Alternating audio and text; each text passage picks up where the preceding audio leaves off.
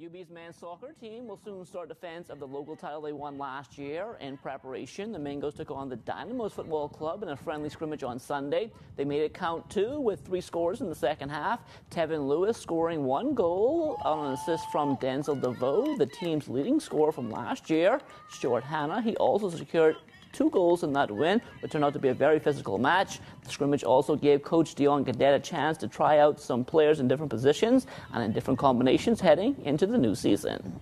I think we had a very good start to the the preseason in terms of playing. We just came back from playing in North America, and now we're back home. And we played a very um, strong team in terms of overall performance league wise. Today we did what we wanted to do. I saw a lot of maturity from my players. I was pleased with the start, and hopefully we continue to grow on this as we continue going in towards the season, which starts October 12th. UB's men's soccer.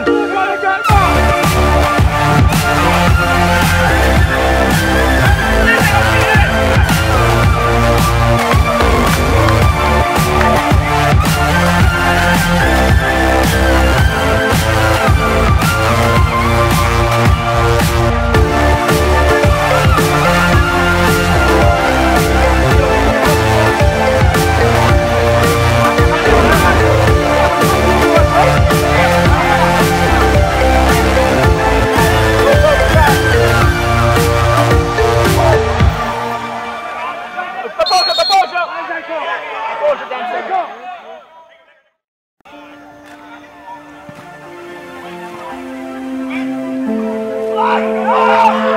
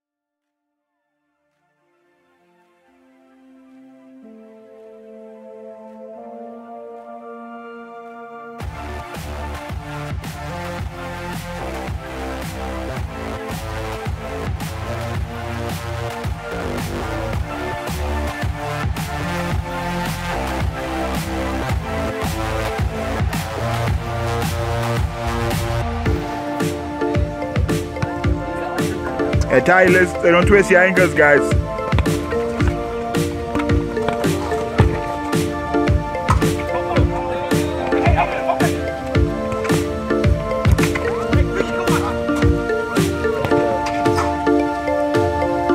Good recognition.